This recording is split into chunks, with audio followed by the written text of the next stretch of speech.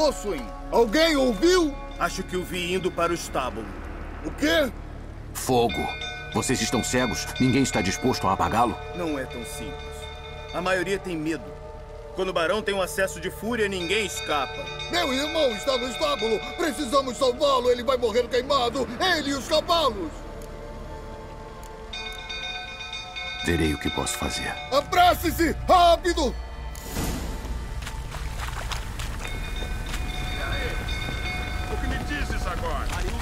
Da próxima vez que te... Um dia desses, ele vai matar todos nós.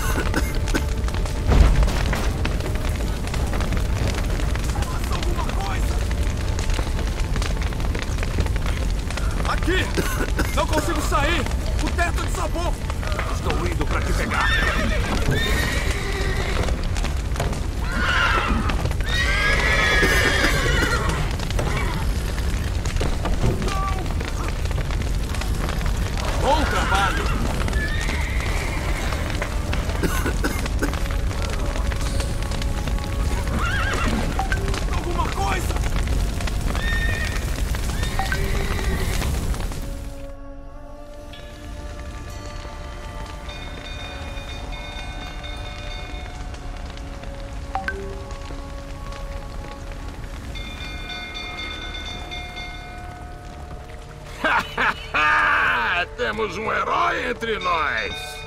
Os cavalos. Bem, estou pronto para perdoá-lo pela surra que deste naqueles escrotos na encruzilhada. Sei que sua esposa sofreu um aborto. Isso foi antes ou depois de você dar uma surra nela? Que caralho estás tentando dizer? Não pense que sou idiota. Faz anos que você bate nelas. Até que enfim foi a gota d'água e elas fugiram. Não é mesmo?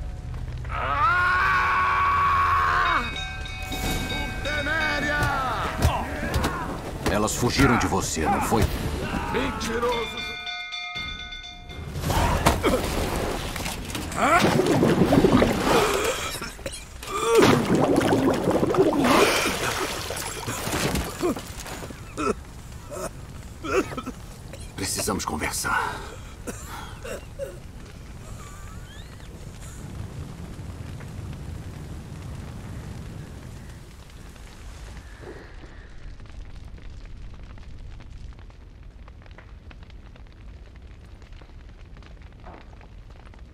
Sente-se.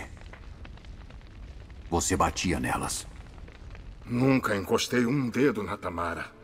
Nem uma vez. E na Ana? Isso já é uma outra história. Ela sempre soube despertar minha ira. Você sabia que elas haviam fugido desde o começo? Sim, eu sabia.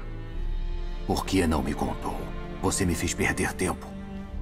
Se eu tivesse, digamos que eu dissesse que tive um problema, que não consegui controlar minha esposa e minha filha, que tipo de frouxo acharias que sou?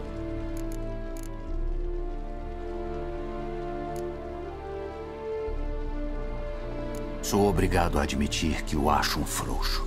Não por não conseguir controlá-las, mas por afastá-las. O quê? Não se faça de idiota. Você não deu escolha a elas.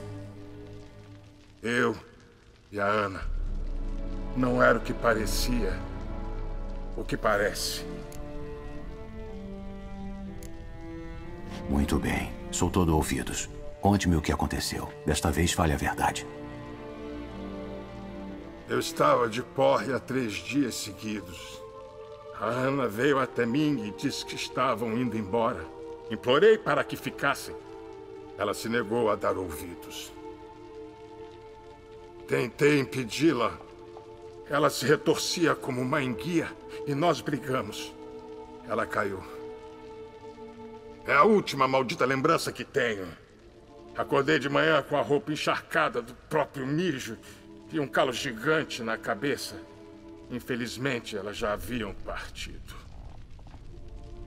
Tens alguma ideia de como me senti bruxo? Claro que não. Porra, como saberias? Fiquei sem nada. Nada. Só a garrafa. O que aconteceu depois? Depois, a coisa só piorou. Acordei ao pôr do sol sem saber quantos dias haviam se passado. Achei que tudo não passara de um pesadelo bêbado. Foi quando entrei no quarto, mas Ana não estava lá. Em vez dela, havia sangue por tudo. Eu sabia. Ela tinha abortado. Com respiração curta, garganta trancada. Cheguei perto da cama e vi. Jogada lá. Uma coisinha minúscula e indefesa. Sobre os lençóis ensanguentados. Morta. E era por minha culpa.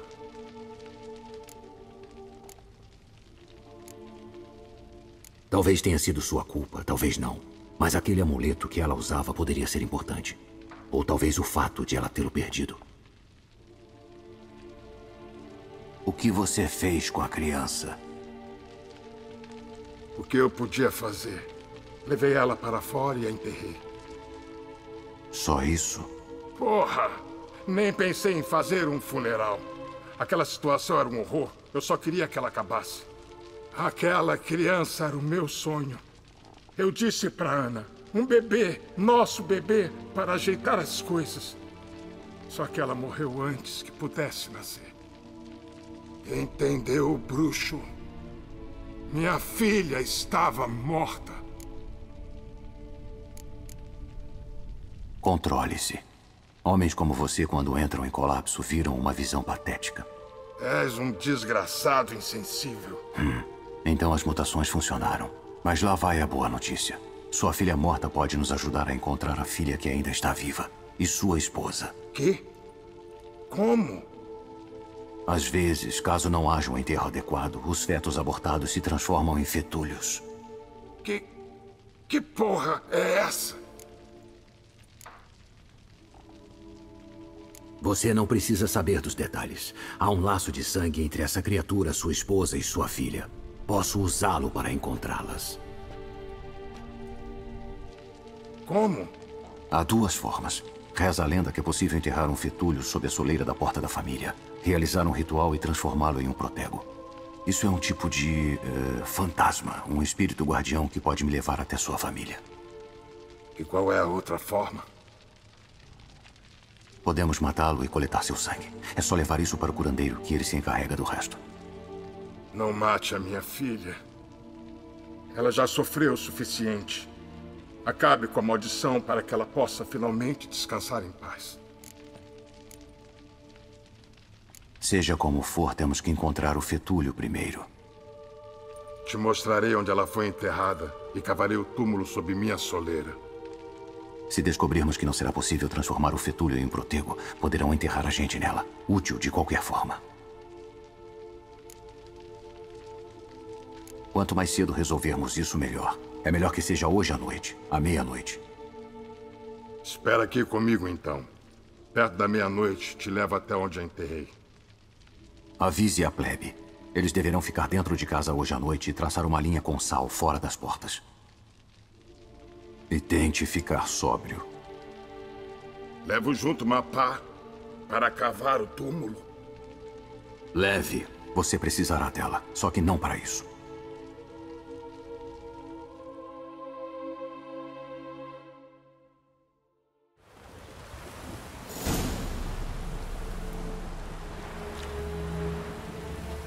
Mais um pouco. Siga-me.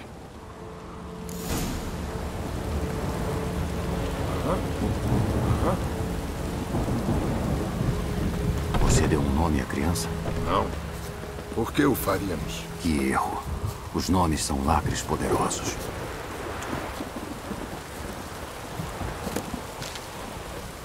É aqui.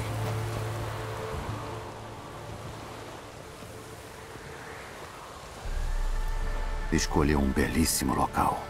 Maldição, dá para parar? Porra, já sei que fiz merda. Ótimo. Alguém revirou a cova. Está vazia. O que isso significa? Que o fetúlio está vagando.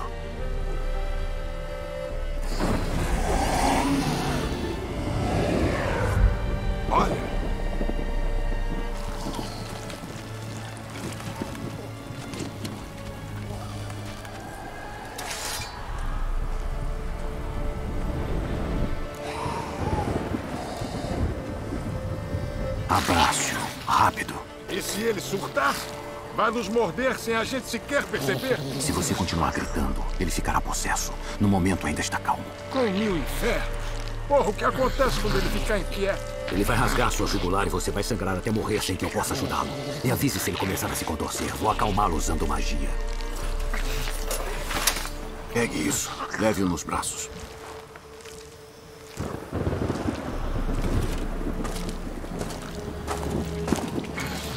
Misericordiosos.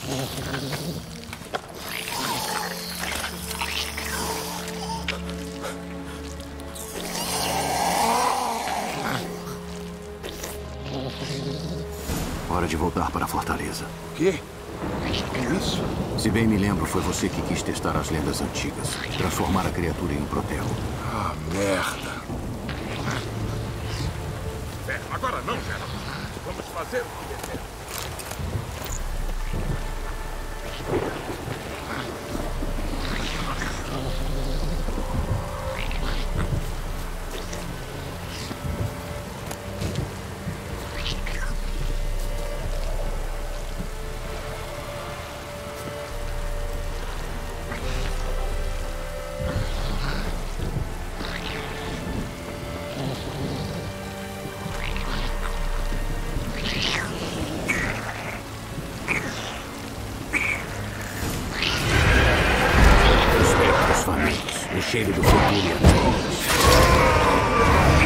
Minha mãe, faça alguma coisa!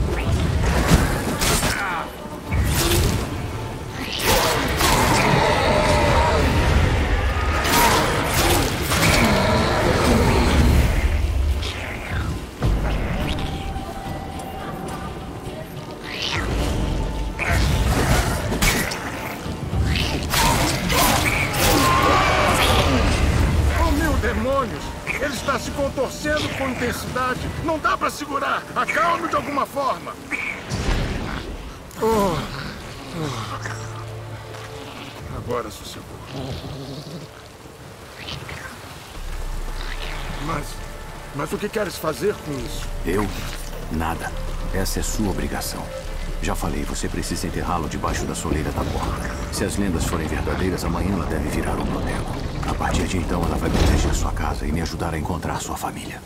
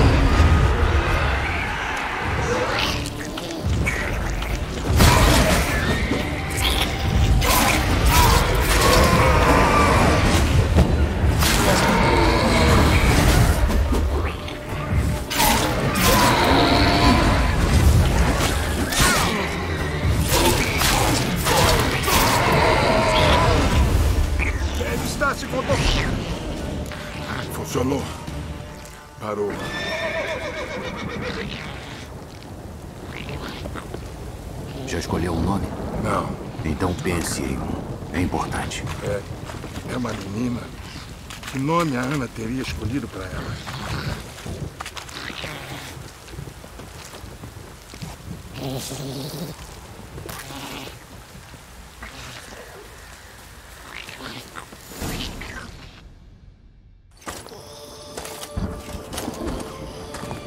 E agora? Repita comigo. Pelos poderes do céu e da terra. Pelos poderes do céu e da terra. Pelos poderes do céu e da terra. Pelo mundo que teria sido teu lar. Pelo mundo que teria sido teu lar. Perdoe-me, ser que veio a mim, mas a quem meu abraço recusei. Perdoe-me. Você que veio a mim, mas a quem meu abraço recusei. Dou-te o nome de. Diga o nome dela. E te aceito como minha filha. Dou-te o nome de. Terra. E te aceito como minha filha.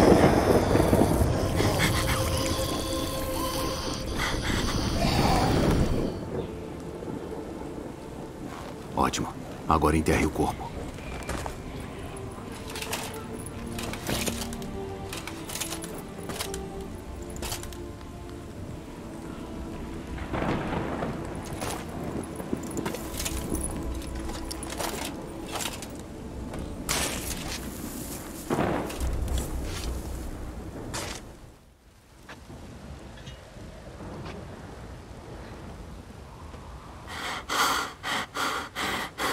E agora? Até em um dia, a Dea deve se transformar em um protego. Vou ficar aqui e esperar. Você vai para casa. Ficarei esperando contigo. Nem pensar. Mas é minha filha. E a culpa, a responsabilidade por todas essas mentiras é minha. A hora de impulsos parentais já passou faz tempo. Além disso, você não pode fazer mais nada aqui. Mas. Sem mas. Só sobrou trabalho de bruxo para ser feito aqui. Tenho que esperar um dia e uma noite para o fetúlio se tornar um protego. Só isso. Vá para casa e tente não beber até ficar idiota de novo.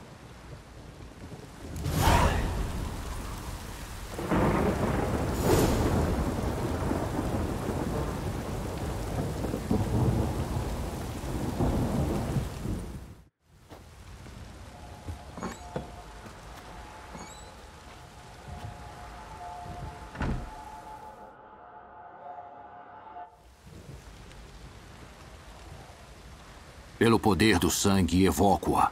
Pelo poder do seu nome, imploro você. Ouça meu chamado e desperte, Dea.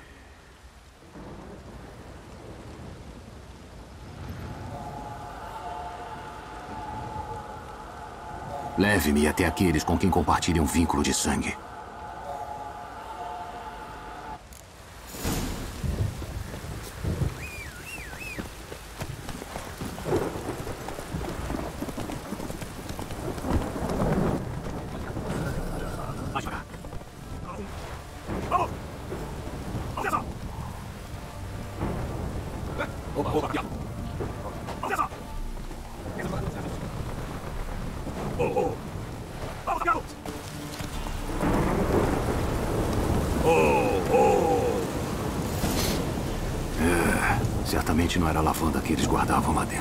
Talvez valha a pena dar uma olhada. Uma ferradura. Duvido que um serviçal tivesse dinheiro para ter um cavalo. Uma pulseira. Uma delas deve ter derrubado.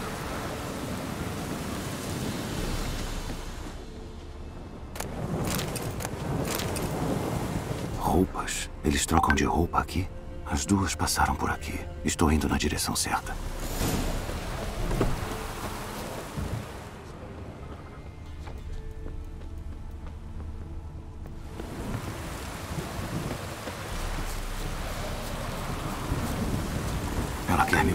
Mais alguma coisa.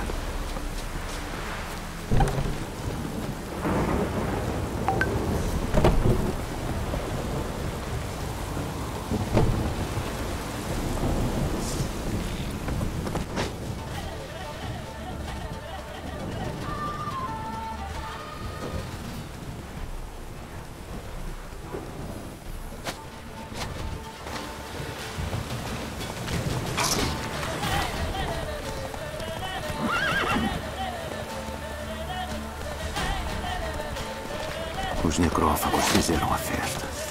Ainda assim, vale a pena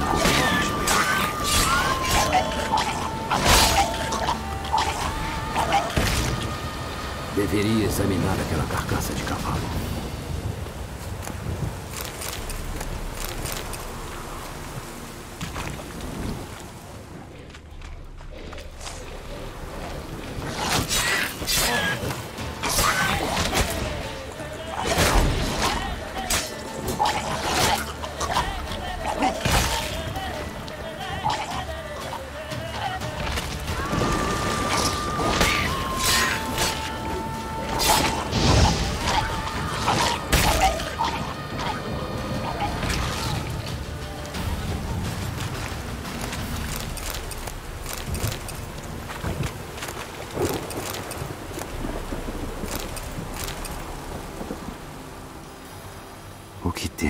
Aqui?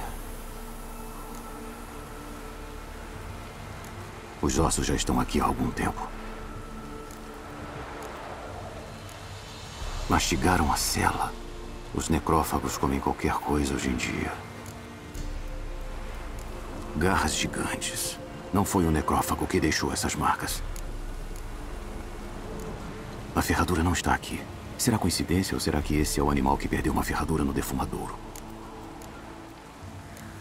A cabeça foi arrancada completamente. Isso requer uma força incrível. Elas devem ter sido atacadas por um monstro poderoso. Foram pegas de surpresa. Espero que tenham escapado. Hum, a trilha continua. Ainda bem que não termina aqui.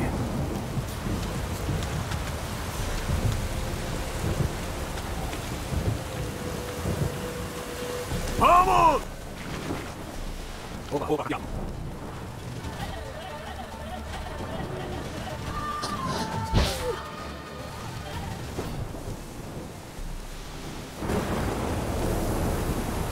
A cabana de um pescador. Parece que ele quer que eu olhe mais de perto.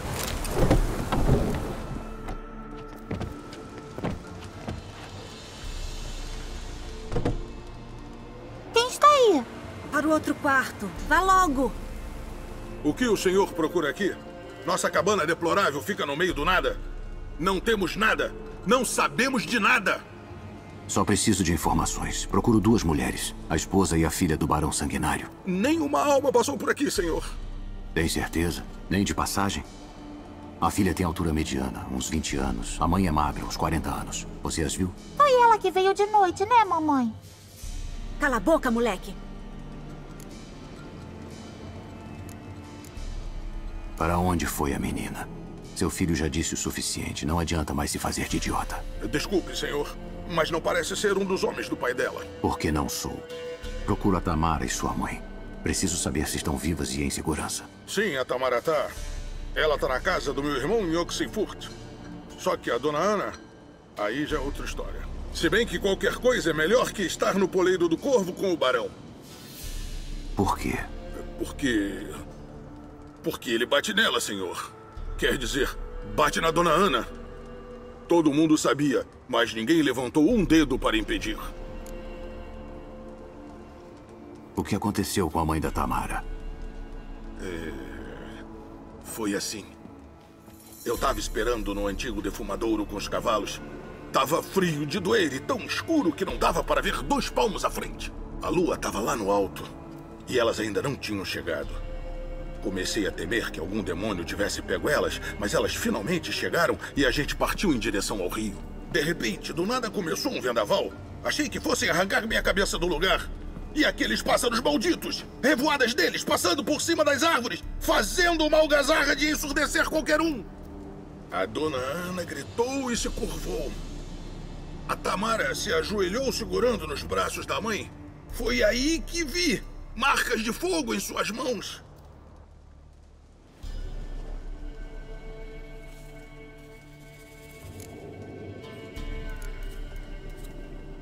Que marcas? Eles são. Bom, como uma queimadura com ferro quente. Na palma da mão. Dentro. Queimadura? Como uma marca de gado? Sim, só que essas cicatrizes não eram pretas, cheias de cascas. Elas estavam vermelhas e brilhantes, como se queimassem com fogo bruto. Certo. O que aconteceu depois? Ficou mais escuro ainda. Parecia que alguém tinha apagado as estrelas. Os grilos fizeram silêncio de repente. Aí, da floresta, veio um rugido. Comecei a suar frio e antes que eu conseguisse respirar direito, um monstro pulou de dentro da floresta. Grande que nem um celeiro, com chifres e dois carvões em chama no lugar dos olhos. Achei que eu já era. O monstro atacou o cavalo da dona Ana, arrancou a cabeça do bicho, arrastou ela para dentro da floresta. Nossos cavalos, o meu e o da senhorita Tamara, se assustaram e deram no pé. Foi só por isso que escapamos. A mocinha queria ir atrás da mãe, mas minha mamãe implorou até que ela prometeu que não ia, porque ia morrer se ficasse sozinha lá fora.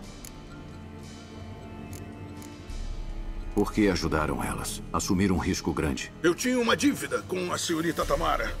Há três luas, uma gripe afligiu meu garoto. A gente achou que seria seu fim. Quando a Tamara soube, trouxe comida e bálsamos. A gente é muito pobre, sabe? Ela salvou meu filho, sem sombra de dúvida. Eu, pessoalmente, nunca teria me atrevido a ajudar. Só que minha esposa me disse: chegou uma época de guerra e desprezo, uma época de gente ruim. A gente tem que retribuir o que é bom com mais bondade. Não tomar partido é a mesma coisa que fazer mal diretamente. Você casou com uma mulher sábia. É uma pena que a gente não tenha conseguido salvar a dona Ana no fim das contas. Obrigado pela ajuda.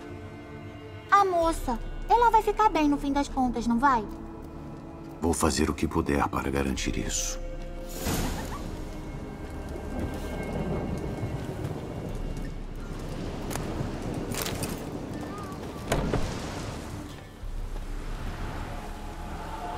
Nossos caminhos divergem aqui.